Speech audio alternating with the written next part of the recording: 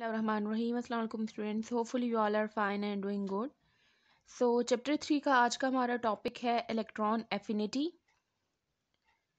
electron affinity is basically opposite of ionization energy ionization energy में हमने देखा था कि अमाउंट ऑफ़ एनर्जी जो कि रिक्वायर्ड होती है किसी भी आइटम के वैलेंस इलेक्ट्रॉन को रिमूव करने के लिए, उस एनर्जी को हम कहते हैं ionization energy electron affinity is basically the amount of energy released ये वो अमाउंट ऑफ़ एनर्जी है जो कि रिलीज़ होती है when an electron is added in the outermost shell of an isolated gaseous atom isolated atom होना चाहिए means कि कोई कंपाउंड ना बना रहा हो सेपरेटली प्रेजेंट हो और गेशियस स्टेट में हो गैस हो वो।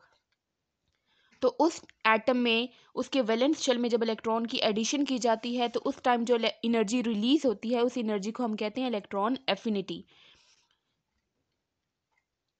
एफिनिटी जो वर्ड यूज़ करते हैं, इसका मतलब होता है अट्रैक्शन अट्रैक्शन मीन्स के इलेक्ट्रॉन की एबिलिटी उसकी टेंडेंसी या कैपेसिटी के वो एटम किसी भी इलेक्ट्रॉन को अपनी तरफ़ कितना स्ट्रांगली अट्रैक्ट कर सकता है और एनाइन में कन्वर्ट हो. क्योंकि इलेक्ट्रॉन जब कोई एटम गेन करता है तो वो नेगेटिव आइन में कन्वर्ट होता है, जिसे हम एनाइन कहते हैं.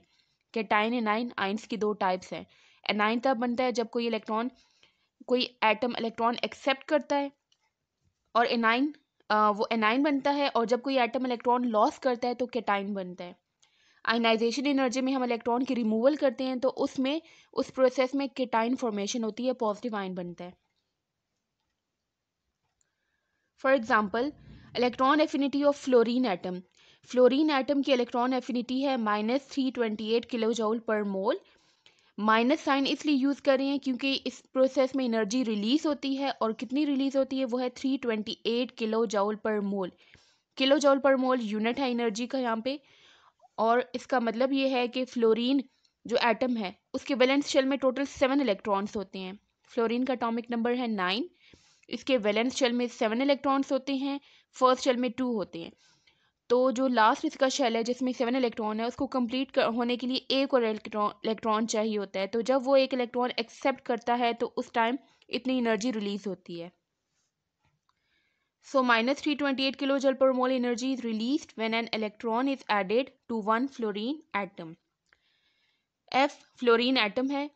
ये एक इलेक्ट्रॉन एक्सेप्ट करता है। ई माइनस मीन्स एक इलेक्ट्रॉन एक्सेप्ट कर रहा है और ये कन्वर्ट होता है into F minus ion minus ion जो होता है वो एक एनाइन होता है और यहाँ पे एफ़ माइनस आइन जो बना है, ये इसको हम फ्लोराइड आइन कहते हैं, ये नेगेटिव आइन है एनाइन है ये।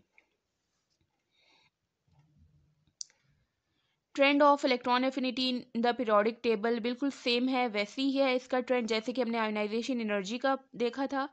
Long periods means left to right जो हॉरिजेंटल रोज है in groups means top to bottom जो वर्टिकल कॉलम्स है पीरियोडिक टेबल में।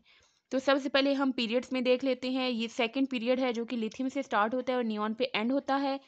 इनके साथ इनके एटॉमिक नंबर्स मेंशन है और सेकंड रो में ये इनके स्ट्रक्चर्स मेंशन है। स्ट्रक्चर आप देखें इन सब में सिर्फ़ दो दो शेल्स हैं और नंबर ऑफ़ इलेक्ट्रॉन जो इंक्रीज हो रहा है वो सेम शेल में ऐड हो रहा है। कोई एक्स्ट्रा शेल इनमें नहीं आ रहा। सो so, लॉन्ग पीरियड हमने अटोमिक रेडियस में या अटोमिक साइज़ का जो ट्रेंड पड़ा था, वो देखा था हमने कि लेफ़्ट टू राइट जब हम मूव करते हैं तो एटम का साइज़ जो है वो रिड्यूस होता है डिक्रीज होता है। क्यों डिक्रीज होता है? क्योंकि न्यूक्लियर अट्रैक्शन इंक्रीज होती है। Left to right atomic number में इंक्रीज आता है। Atomic number means number of proton और वो प्रोटॉन प्रेजेंट होते हैं न्यूक्लियस में। तो जितने ज़्यादा प्रोटॉन होते जाएँगे न्यूक्लियस का प्लस साइन इंक्रीज होता जाएगा। प्लस साइन इंक्रीज होगा तो न्यूक्लियस का चार्ज बढ़ रहा है। प्लस साइन बढ़ रहा है। जितना वो बढ़ेगा इंक्रीज होगा आसपास जो इलेक्ट्रॉन्स प्रेजेंट है जिन पे माइनस साइन है वो इलेक्ट्रॉन्स उस न्यूक्लियस की तरफ़ अट्रैक्ट होंगे। जिसकी वजह से जो शेल्स हैं वो न्यूक्लियस के करीब हो जाएँगे और टोटल जो एटम का साइज़ है वो डिक्रीज कर जाता है। सो so, इसलिए अटोमिक साइज़ डिक्रीज करता है left right because nuclear attraction increase करती है। So addition of valence electrons becomes easy अब इस तरह के एटम्स जिनका साइज़ छोटा है और न्यूक्लियस की अट्रैक्शन स्ट्रॉन्ग है उसमें इलेक्ट्रॉन ऐड करना इजी होता है, क्योंकि जैसे ही उसके करीब इलेक्ट्रॉन लेके जाएँगे न्यूक्लियस उसको स्ट्रांगली अट्रैक्ट कर लेगा, अपनी तरफ़ खींच लेगा। तो उस टाइम पे जितनी ये एडिशन इलेक्ट्रॉन की इजी होगी, उतनी ज़्यादा एनर्जी रिलीज़ होती है उस प्रोसेस में। और अगर इलेक्ट्रॉन की एडिशन डिफ़िकल्ट हो तो फिर उस time small amount of energy release होती है। तो यहाँ पे क्योंकि न्यूक्लियस की अट्रैक्शन स्ट्रॉन्ग है तो जैसे ही इलेक्ट्रॉन को करीब लेके जाते हैं न्यूक्लियस को अपनी तरफ़ अट्रैक्ट कर लेता है so addition of valence electrons becomes easy so amount of energy जो रिलीज़ होती है, वो भी इंक्रीज होगी large amount of energy release होगी, और उसी एनर्जी को हम इलेक्ट्रॉन एफिनिटी कहते हैं, जो कि रिलीज़ होती है जब हम किसी भी एटम में कोई इलेक्ट्रॉन ऐड करते हैं. सो कंक्लूजन इसका ये है कि from left to right along periods electron affinity increase होती है इट मीन्स कि लेफ़्ट टू राइट जो एटम्स एलिमेंट्स अरेंज हैं, उन एलिमेंट्स के एटम्स में अगर हमने इलेक्ट्रॉन एडिशन करनी हो तो वो इजीली हम कर सकते हैं और large amount of energy release होती है, जिसे हम इलेक्ट्रॉन एफिनिटी कहते हैं। अब ग्रुप्स में देख लेते हैं फ़र्स्ट ग्रुप यहाँ पे है लिथियम से स्टार्ट हो रहा है एफ़ आर फ्रेंडसियम पे ये एंड होता है। इस ग्रुप के दो एलिमेंट्स ले लेते हैं सोडियम एंड पोटाशियम सोडियम का टॉमिक नंबर इलेवन है इसके। टोटल थ्री शेल्स हैं। फ़र्स्ट शेल में टू इलेक्ट्रॉन्स हैं सेकंड में एट और जो लास्ट इलेवंथ इलेक्ट्रॉन है, ग्यारहवा इलेक्ट्रॉन वो थर्ड शेल में प्रेजेंट होता है।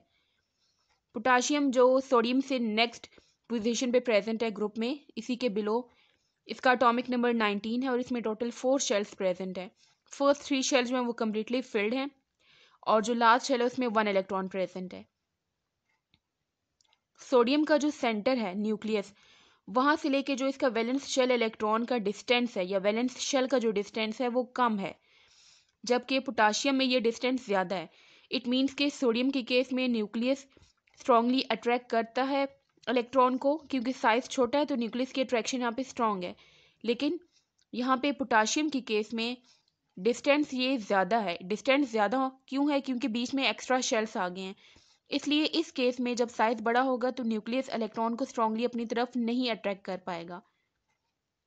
इट मीन्स कि अगर हम स्मॉल साइज़ ऑफ़ एटम जब एटम का साइज़ स्मॉल हो, इसमें इलेक्ट्रॉन की एडिशन करेंगे तो वो इजीली हो जाएगी क्योंकि न्यूक्लियस इसको अपनी तरफ़ अट्रैक्ट कर लेगा। लेकिन जब साइज़ इंक्रीज होगा तो न्यूक्लियस उस इलेक्ट्रॉन को इजीली अट्रैक्ट नहीं कर पाएगा अगर हम बाहर से कोई इलेक्ट्रॉन इसमें ऐड करना चाहेंगे। So in groups from top to bottom atomic size increase atomic size increase होता है, जिसकी वजह से न्यूक्लियर अट्रैक्शन डिक्रीज हो रही है। Addition of valence electron difficult होता है। अमाउंट ऑफ़ एनर्जी जो होती है, वो रिलीज़ कम होती है। Small amount of energy release होती है so electron affinity decreases so the conclusion is from top to bottom in groups groups में टॉप टू बॉटम जो एलिमेंट्स अरेंज हैं, उनमें जब इलेक्ट्रॉन्स की एडिशन की जाती है तो small amount of energy release होती है, क्योंकि उनका साइज़ इंक्रीज हो रहा है और न्यूक्लियर अट्रैक्शन डिक्रीज हो रही है। सो इलेक्ट्रॉन एफिनिटी डिक्रीज करती है long groups thank you so much for watching see you next time लाफेज